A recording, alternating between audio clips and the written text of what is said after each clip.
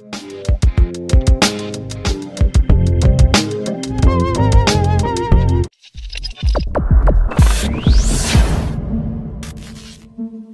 What's up mga ka-flash? Muling nagbabalik the Sports Flash TV. Josh Taylor, sinabing isang karangalan na makalaban si Pacquiao pero wala raw itong mapapala kapag matalo nito si Pacman. Pag-usapan natin yan mga ka-flash. Pero bago ang lahat, huwag kakalimutang i-like, mag-subscribe at i-hit ang notification bell para updated ka sa mga bidyong katulad nito.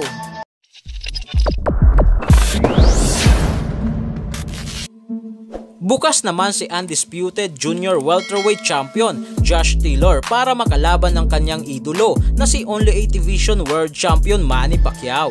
Subalit hindi ito kumbinsido na kung matalo niya si Pacman ay makakatulong ba ito sa kanyang boxing career.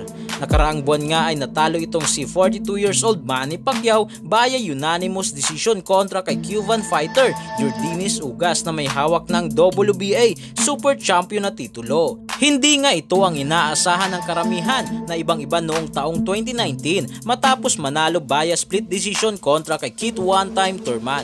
Matapos ang laban kay Ugas ay sinabi ni Pacman na pinulikat ito kaya hindi na ito nakagalaw ng maayos para makagawa pa sana ng mga adjustment sa estilo ni Ugas. Posibleng ito na ang huling laban ni Pacman sa ibabaw ng lona subalit ayon kay Pacquiao ay bukas pa rin ito sa posibleng laban.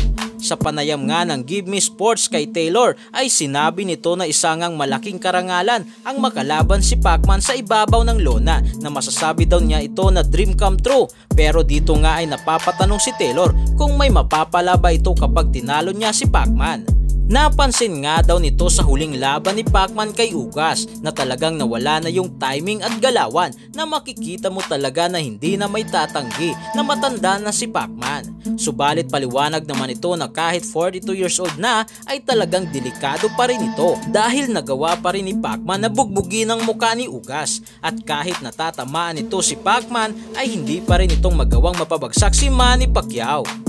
Isang mahirap na laban pa rin nga ito kay Josh Taylor pero alam daw nito na siya pa rin ang mananalo kapag matuloy ang laban sa pagitan nilang dalawa. Babalik nga si Taylor sa ibabaw ng lona sa December para makalaban ng kanyang mandatory challenger na si Jack Cateral.